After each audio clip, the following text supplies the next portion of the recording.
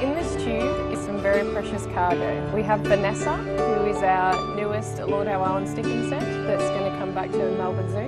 We're hoping that they will be the stock that then come back to Lord Howe Island. Lord Howe stick insect, extinct species back from the dead after 100 years an insect that was long taken for dead has been found. The Lord Howe Island stick insect, considered extinct for years, still walks, or crawls, the earth. Hungry rodents diminished their numbers long ago. When rats, stowing away on ships, came to Lord Howe Island, they found a tasty new food source in the Lord Howe Island stick insect. Rats ate so many that scientists believe these creepy crawlies had been eaten completely off the island. The six-legged animal has never been found anywhere on Earth except for off the coast of New South Wales in Australia.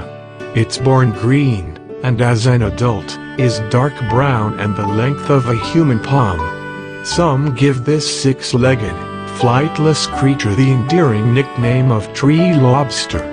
Scientists have confirmed that giant insects found on a rocky outcrop off Lord Howe Island are a genetic match for the island's sticky insects that were believed to have gone extinct almost 100 years earlier. The species were assumed to be one and the same. However significant morphological differences between the Lord Howe Island sticky insects collected in the early 1900 seconds and stored in museum collections, and the phasmids discovered in 2001 on Ball's Pyramid, a remnant volcano about 23 kilometers off the main island, created a suspicion the latter could be a related species, rather than the original back from the dead.